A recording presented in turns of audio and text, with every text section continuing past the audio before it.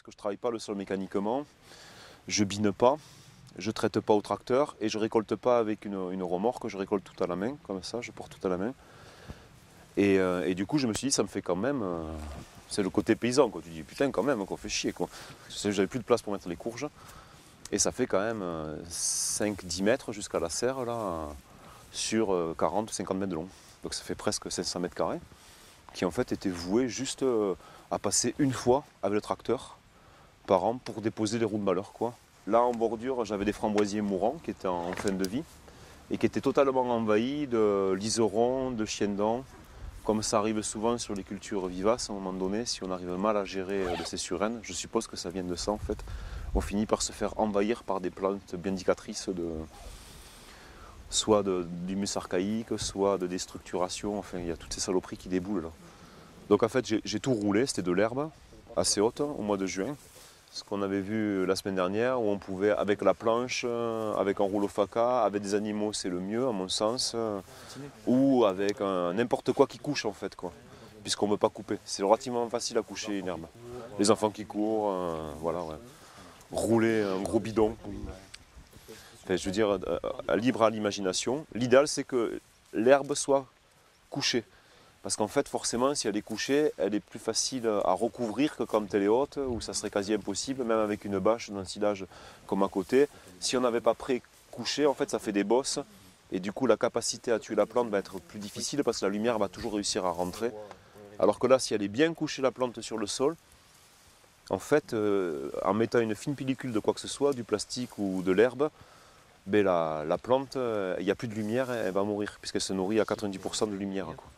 Et du coup, après, ce qui se passe, c'est que j'ai mis du foin par-dessus, à nouveau, pour apporter un gros apport de matière organique. Et ce que j'avais fait précédemment, c'est que j'avais fait le test de la structure. Donc j'avais vérifié que la structure de mon sol était euh, bonne. Donc on l'a vu, elle était, elle était même là, elle était à deux, quoi, parce que c'est des endroits où j'avais mis de la matière organique avant, quoi, pour, pour les framboisiers et tout ça. Quoi. Et puis après, j'avais badigeonné partout, quoi, avec euh, les, apports de BRF et tout, j'avais badigeonné partout. Une fois que j'ai eu posé mon foin, j'ai mis mes bâches dans le silage et j'ai cultivé euh, courge, maïs, haricots. Pour les framboisiers, j'avais apporté de la laine de mouton, j'avais apporté plein de choses. Donc la, fertilité y était quoi. Donc j'ai pas apporté de minéraux. Mais si on est sur un itinéraire où on repart sur un sol derrière une prairie, ou un sol qui a été travaillé et qui est infesté de, d'herbes indicatrices de blocage, on va quand même penser à soigner la fertilisation pour se garantir la récolte, être sûr que ça se récolte. Donc sur un sol à structure, euh, à bonne structure comme ça, la bâche va suffire. Si on avait un sol avec une structure euh, en dessous de 1, entre 0 et 1, on aurait fait un itinéraire comme on a parlé la semaine dernière, avec un fort apport de matière organique que j'ai fait. On l'aurait pré-enfoui à l'intérieur du sol pour pouvoir avoir de la fertilité et recréer une structure. Comme j'ai un sol qui est très riche en plantes vivaces difficiles à détruire, en fait, je vais utiliser la bâche pour détruire ces vivaces. Parce que ces vivaces, si tu les mets sous paille, en fait, ce qui était le cas ici, hein, puisque j'avais paillé, jusque, j'avais paillé, on le voit là, près de l'arbre où l'arbre a tout sucé, il n'y a même pas de vivace, mais on voit qu'il reste encore plein de, foin, quoi, ici. Vous voyez, et là, on voit qu'en fait, toutes les, spontanées sont repassées au travers, et on a la fin de l'hiver, quoi, donc elles, sont pas, elles étaient beaucoup plus, virulentes au mois, de, au mois de juin, juillet, quoi. Et on voit qu'en fait, si on regarde là, c'est gavé de mauvaises herbes, et si on regarde là ou qu'on va vers là, quoi, on se rend compte qu'en fait, même sous le pays, il n'y a plus de. Il n'y a, même pas les racines, quoi. Ça, c'est la paille que j'avais mis. Ouais, c'est le foin que j'avais mis avant. Mais j'avais, tartiné, quoi, tu vois. Parce que sous la bâche, en fait, ça avait, c'était un mode, un, mode sec. Si s'il avait plu tout l'été dessus ou l'irrigation dessus sur un modèle sans bâche, il y a des grandes chances que ça aurait été plus dégradé parce que j'avais euh, des conditions euh, d'humidité favorables de la des champignons et tout le reste. Après, ça peut aussi dénoter l'accumulation de paille, une faible activité biologique. Et donc attention on est en train de basculer vers une tourbière. On a du mal à faire évoluer les matières organiques. On ne va pas vers les humines microbiennes, les humines d'insolidation. On est en train de basculer vers des humines euh, d'héritage, des humines résiduelles, les fameux nini des. Donc si j'avais pas mis ma bâche dans le silage, en fait, et que j'ai planté directement mes courges et semé mon maïs haricot à l'intérieur en fait, j'aurais ni récolté de courges, ni récolté de maïs, ni récolté de haricots. J'aurais eu juste, je serais revenu à la case de départ, ce que j'avais avant, donc une infection de, plantes spontanées agressives, avec en plus de la matière organique. C'est tout ce que j'aurais fait. Ça aurait été, euh, ça n'avait aucun intérêt en fait. Pendant combien de Donc la bâche d'un silage, en fait, l'intérêt de faire cet itinéraire, c'est on pourrait se dire aussi, je vais détruire, poser ma bâche d'un silage au mois de, je sais pas moi, au mois de janvier ou au mois de décembre, pour planter mes courges au mois de mai, je vais retirer ma bâche et je vais installer mes cultures. Et là, en fait, ça ne marche pas non plus. Parce que ce qui se passe, c'est que la plupart de ces plantes, hormis peut-être celle-là, la, graminée, mais euh, la renoncule, euh, la potentille, en fait, euh, et le chien dent encore plus, et le rumex pareil, en fait, ce sont des plantes qui, pendant l'hiver, ont une faible croissance, et naturellement, comme ça c'est des vivaces, elles se mettent en repos. Donc en fait, si on met une bâche, juste elles ont le sentiment que la nébulosité était épaisse, et elles se disent, tiens, on a un hiver vraiment très nuageux. Quoi. Mais ça leur fait pas plus que ça. quoi. C'est tout ce qu'elles pensent. Et à un moment donné, dès qu'on sort la bâche à la saison, la lumière remonte, puisque c'est l'époque où on plante nos courges, qui ont besoin d'une lumière d'été. Il se trouve que nos vivaces aussi ont besoin de lumière d'été. À part quelques-unes, peut-être un peu plus fragiles, qui sont mortes, la plupart, en fait, vont refaire rebelote. Et du coup, je loupe ma culture et je reviens à la case départ et je me suis emmerdé à mettre du plastique. Ça, c'est la première erreur. Et la deuxième erreur, comme on l'a vu, c'est la plante qui pilote la fertilité du sol. Donc un sol qui reste sans couverture végétale est un sol qui perd en fertilité. Parce qu'il n'y a pas d'excrétion d'exudat racinaire. Donc si je laisse ma bâche tout l'hiver posée sur le sol, même si l'activité euh, de production de sucre de la plante est faible, elle est quand même là toujours pour entretenir une activité biologique qui est au ralenti. Quoi. Parce qu'on le voit, il y a encore un peu de photosynthèse, même si elle n'est pas énorme, il y a quand même une décharge de sucre à l'intérieur du sol.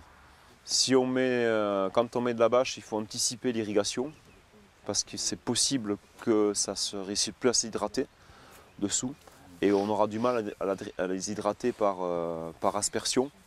Donc l'idéal c'est de positionner un goutte à goutte dessous. Après, comme on est sur une culture gourmande, la courge, il est bienvenu euh, de suivre un itinéraire classique de fertilisation pour la courge qui doit être de l'ordre de 120 ou 120 unités d'azote. Donc on se fait sa petite règle de 3 avec la matière organique qu'on a en son engrais organique et on se garantit une sécurité au niveau de la, pousse de la plante et donc on pourvoit en engrais organique. Parce que là on se dit on est en sol 1, en est 1. Mais dans un premier temps, je n'ai pas assez de recul sur le lieu pour savoir s'il peut produire. Et donc me garantir une réserve en minéraux facilement accessible va me permettre d'être quasiment sûr que je vais pouvoir récolter des courges. je vais pouvoir récolter des courges. Du coup, je pose ma bâche, je plante dans toutes ces conditions mes courges, je les conduis en irrigation comme ça va se faire. S'il y a quelques plantes qui sortent par les trous près pré-troués pour introduire les plantes cultivées, je les arrache soigneusement pour vraiment faire un no, no herbe. C'est-à-dire l'objectif c'est no herbe. Quoi. Et du coup, une fois que la culture avance, il va avoir un moment donné où je récolte et que je vais basculer en année 2. Donc on a certainement vu le moment où il y avait la, culture. Je sais pas, vous avez vu qu'il y avait la culture, elle s'est bien développée.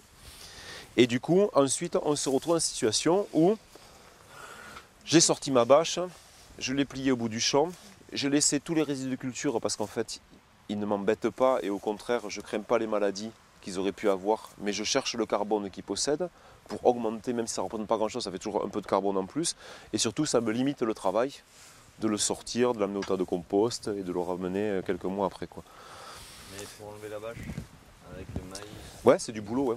C'est du boulot. C'est-à-dire qu'en fait, il faut que tu pètes le maïs. Donc le maïs, euh, tu prends le pied, euh, tu fous un coup de latte, tac, il se coupe. Tu enlèves les rames. Les rames ont été faites avec euh, de la cisale, donc de la, de la ficelle biodégradable, donc tu peux la laisser sur place. Et du coup, après, soigneusement, tu sors de la bâche. Tu sors euh, ta bâche, tu la plies, et après, il te reste sur le sol que les résidus de culture avec la paille. Et plus, de, plus aucune mauvaise herbe. Parce qu'elles, par contre, pendant l'été, elles n'ont pas été contentes que la nébulosité reste un peu plus longtemps. Parce que tout les poussait à croître. Et en fait, elles n'avaient pas de nourriture. En fait, ce qui se passe, c'est qu'en été, la plante, elle est gourmande dans le soleil, quoi. Elle a rien. Et du coup, tu la fames sous le plastique. Tu la fames. Mais si tu, comment il s'appelle, tu maintiens une structure équivalente à ce que tu avais avant, si tu n'améliores pas la minéralité de ton sol, si tu n'optimises pas l'activité biologique du sol, ce qui va se passer, c'est que tu vas, les levées de dormance vont pas être arrêtées. Et du coup, il va relever du nouveau rumex derrière et tu vas voir de nouveaux rumex qui vont arriver et tu n'en sortiras jamais. Donc tu as à la fois la lutte, on va dire, euh, la lutte de base, hein, je tue. Et puis tu as l'autre manière de lutter, c'est éviter que ça revienne. Et donc il faut jouer sur ces deux pôles.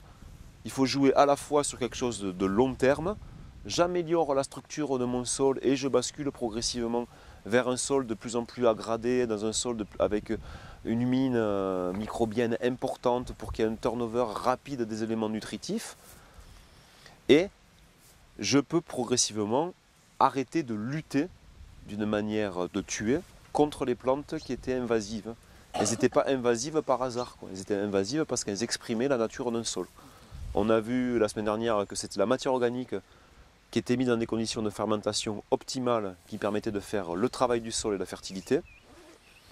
Gérer la mauvaise, gérer l'annuel, gérer la vivace, c'est améliorer la fertilité du sol parce que la plupart des vivaces qui nous dérangent sont liées à des blocages à des blocages de matière organique, à des compactages, à des anaérobioses. Mais la vivace, elle a de l'inertie. Quoi. Même si on met ça en place, elle va continuer à vivre pendant des années. Quoi. Donc il va falloir apprendre à s'en débarrasser. On peut s'en débarrasser. Moi, les seules manières que j'ai trouvées, c'est ben, à la bêche. J'ai du rumex, j'arrache du rumex euh, les uns après les autres.